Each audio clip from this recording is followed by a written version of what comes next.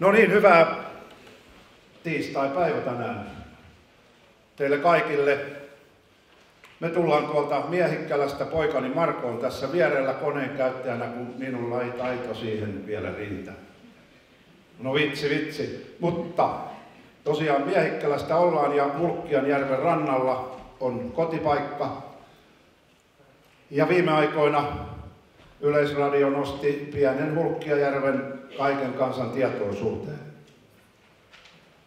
Tosiaan Hulkkianjärven koko on 20,2 hehtaaria, matala järvi, keskisyvyys ennen remonttia 80 senttiä, hiukan keskellä vettä, rannalla kasviriutat joka puolella. 2003 EUn myötä karjatalous väheni rannoilla. Tällä hetkellä siellä ei ole karjoja yhtään ja etupäässä pellot, jotka viettää järveen, on nurmella. Hyvin vähän on viljaa, että siinä mielessä valumat hommat alkaa olla niin kuin hanskassa.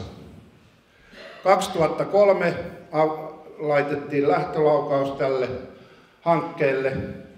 Poikani otti Helsingin yliopistoon Taitaa olla täällä henkilö, onko? Taisin laittaa Jukalle, Jukalle silloin mailia 2003. 2003. Ja kyselin huolissa, kun järven, järve, järve, kalat, kalat kuoli joka talvi järvestä, matala järvi ja se jääty pohjaan myöten. Ja hän käski ottamaan Kouvolaan yhteyttä Markus Tapaniseen ja näin tehtiin. Ja se oli sellainen lähtölaukaus ja tämä projekti päättyi vasta 2014. Eli 11 vuoden projekti ja tuota, ely oli mukana siinä. Tämä oli Kaakkois-Suomen ely pilottihanke ja taisi olla koko valtakunnassa numero 9 tai 10. En muista ihan tarkkaan. Ja tässä vaiheessa haluan kiittää seuraavia henkilöitä. Visa Niittyniemi, Ilkka Närhi, Markus Tapaninen ja urakoitsija Reijo Kaukonen. Teitte hienoa työtä että tämä projekti lähti menemään. Ja tuota,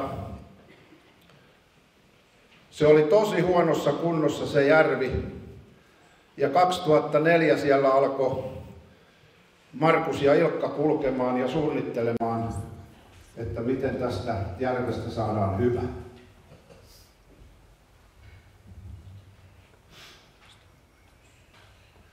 No ensimmäinen homma oli veden painovoimainen poisto järvestä. Se ei meidän onnistua mitenkään, kun 2009 vuosi oli, oli tuota, tosiaan sateinen syksy ja, ja loppupeleissä sinne jäi vettä sinne järveen, joka sitten 2010 tyhjeni kuivatusojia myöten pois. Mutta siinäkin ehkä oli vähän hyvää tuuria meillä, että sinne jäi se jää se jää jo omalla painollaan paino sitä, sitä mutapohjaa alemmaksi. Näin oletaan. Mutta sitten, kun tuli kesä 2010, se oli tosi lämmin kesä ja meillä oli siinä mielessä tuuria siinä hommassa, että hellepäiviä oli koko kesän aikana 35. Ja parhaimmillaan lämpötilat oli pitkälle yli 30 astetta. Niin tämä järven pohja kuivi niin hyvin ja halkeili ja kuivi niin halkipalkki sinne alaspäin. Mutta samalla rupesi kasvamaan osman käämiä ja pajua. Kahdessa kuukaudessa koko järven pohja oli kaksi metristä osman käämiä. Siinä ihmeteltiin vähän, että mitä tehdään ja siinä ei ollut vaihtoehdot, oli vähissä. Myrkyttää ei voinut. Raivaussahoilla yksi kuukausi meillä meni aikaa. Raivattiin koko järven pohja, kaadettiin se kasvusta. Se oli kova homma. Talkoo miehiä, ei meinannut saada mistään useimmiten vaimon kanssa oltiin siellä kahdesta. Monena päivänä. Niin mulle yksi mies sanoi, että etkö Hanski tiedä, että talkomiehet kuoli 70-luvulla. Mutta se homma tehtiin, tehtiin ja tota, saatiin niitettyä. Ja sitten se kaadettu niittojäte, se ei koskaan kuivunut täysin, että osa kerittiin syksyllä polttaa. Mutta sitä jäi hirveän paljon ja seuraava kevät kun tuli, jäät lähti. Lännestä tuuli. Ja vesi laskettiin, otettiin järveen.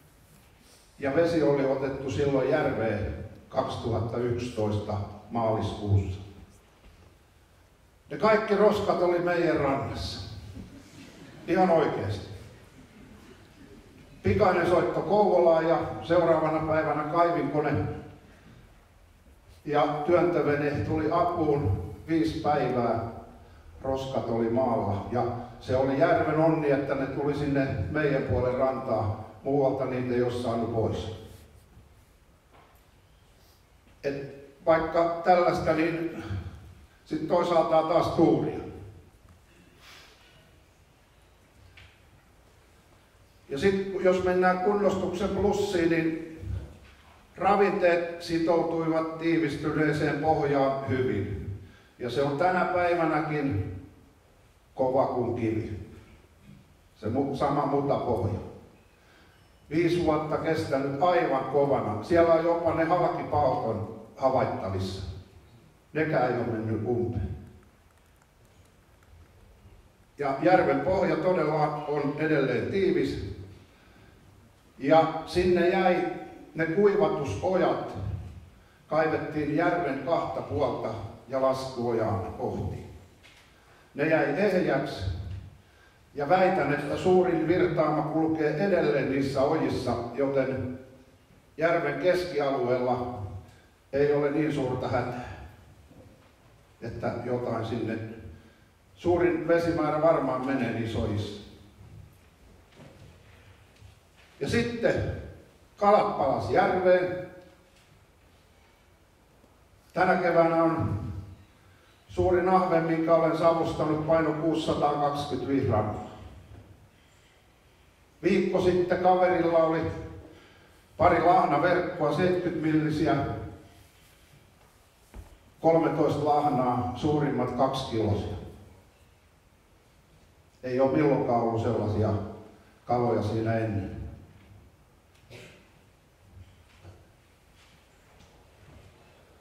Ja sitten virkistyskäyttö parani oleellisesti.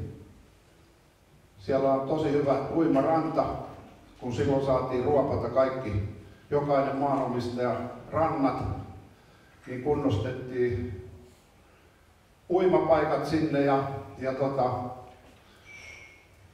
sanon, että järvi on hienossa kunnossa. Että tosiaan kalakanta, ainut miinustava tekijä on niin kalamiehiä joutuu käskemään, että tulkaa ihmeessä kokeilee, että, että tota, mitä sieltä tulee.